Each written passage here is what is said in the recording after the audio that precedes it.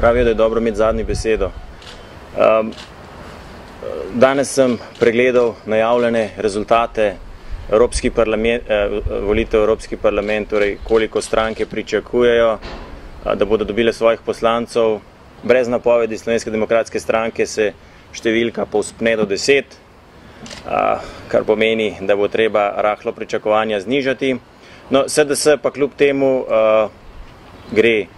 aktivno v to predvolilno kampanjo, eh, pripravila bo eh, svojo, svojo kampanjo na ta način, da se bo obiskala vse kraje Slovenije, ne bo obljubljala univerzalnega dohodka, ne bo se zauzemala za zmanjšanje števila jogurtov v trgovinah, kot nekatera politična konkurenca napoveduje, ampak bo v tej svoji kampanji predvsem stavila na stik z ljudmi, na obisk vseh slovenskih regij in na ta način, na podlagi dobrega programa, ki ga je pripravila tudi Evropska ljudska stranka, torej političnega manifesta, uh,